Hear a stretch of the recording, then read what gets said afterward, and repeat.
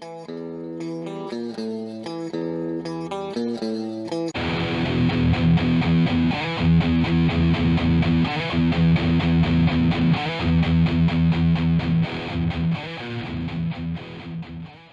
んにちは、柴戸です。今回ご紹介させていただくのは、グローバージャクソンの国産最上位機種になります。こちら、グローバージャクソンのソロイストという機種になるんですけれども、グローバージャクソンは皆さんご存知でしょうか？僕が高校生の頃、94、5年ぐらいはですね、グローバージャクソンのギターはかなり店頭に並んでいました。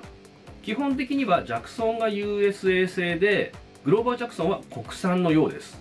まあ、ただ全部が国産じゃないみたいなんですけれども、一部はですね、USA もあるみたいです。でも基本的にはこのグローバージャクソンというのは、ジャクソンの国産バージョンといった感じになるそうです。結構やっぱりジャクソンというと変形ギターのイメージが強いので、まあランディ・ローズのやっぱ V が一番イメージ強いですよね。まあ、ここ最近は変形ギターがね、そんなに流行っていないので、店頭であまり見る機会はなくなってきました。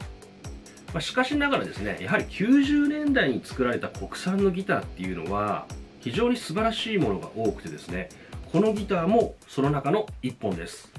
このギターはグローバージャクソンの中でも国産の最上位機種になっておりまして、ブラックブラッドシリーズといってですね、全パーツが黒で統一されているというですね、シックでワイルドな感じのギターになっております。形はストラトから来てるんですけれども、非常にホライゾンに似てますよね。ESP のホライゾンにそっくりなギターだと思います。では、スペックいきたいと思います。まずですね、ピックアップ。段階が2つ積んであって、SH4 と TB5 が乗っております。もうこれだけでも結構豪華ですよね。そしてブリッジなんですけれども、フロイドローズタイプになっているんですが、フロイドローズのものではないです。フロイドローズライセンスのシャーラーのものになります。なので、全然まがいものとかではなく、シャーラーという素晴らしいブランドが作っているフロイドローズタイプのブリッジになります。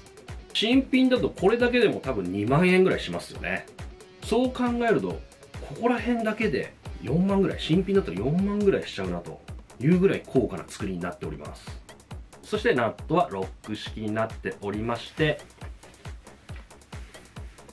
グローバージャクソンオリジナルのペグが付いております。これもですね、非常に使いやすいです。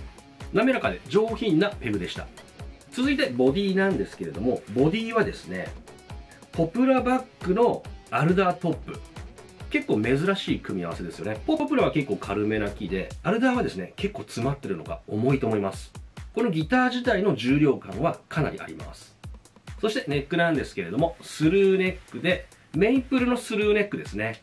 なので、メイプルが1本通っていて、ウイングにポプラバックのアルダートップという風な素材になっております。これだけのスペックが盛り込まれて、当時1990年代半ばで13万3333円。やたらと3が並んでるんですけれども、今で言うとかなりお得だと思いますね。このスペックでこのギターを今販売したとしたら、優に20万は超えますよね。ここにね、シリアルも入ってるんですよ。ここですね。000171。まあ、かなり本数絞って作られたんだなっていうのがわかりますね。まあ、せいぜい300本ぐらいじゃないかなと思います。そして指板はエボニーでドットはありません。で、ボリュームとトグルスイッチのみという感じで男気あふれるギターになっております。かなりワイルドな方向けの仕様ですね。フレットは24フレットで、ネック自体はですね、若干幅広の薄めです。まあ、メタル系のギターによくある形ですね。非常に手にフィットする感じで弾きやすいです。スルーネックの24フレットということで、ハイフレットの方もですね、バリバリ、バリバリ弾けます。では、音をお聴きいただきたいと思います。